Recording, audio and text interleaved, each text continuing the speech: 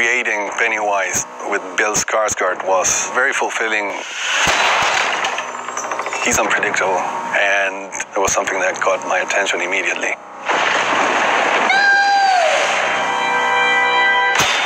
I wanted to create something unsettling. Here, take it. This feeling that you never know what's going to happen when the clown's around. Bill, if you will come with me, we'll float too.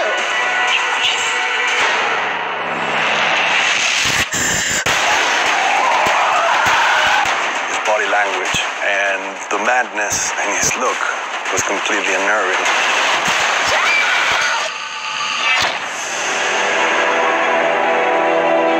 Andy successfully kept Bill Pennywise away from the kids as long as possible.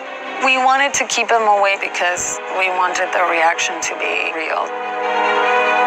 It is authentic to how kids should be reacting.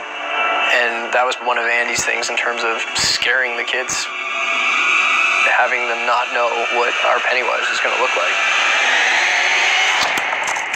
Look, that's where it lives.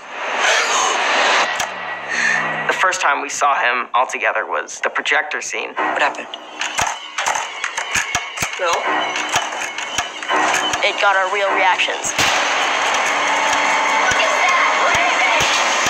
I was so freaked out. It was terrifying. He's just so sporadic. You don't know what he's gonna do.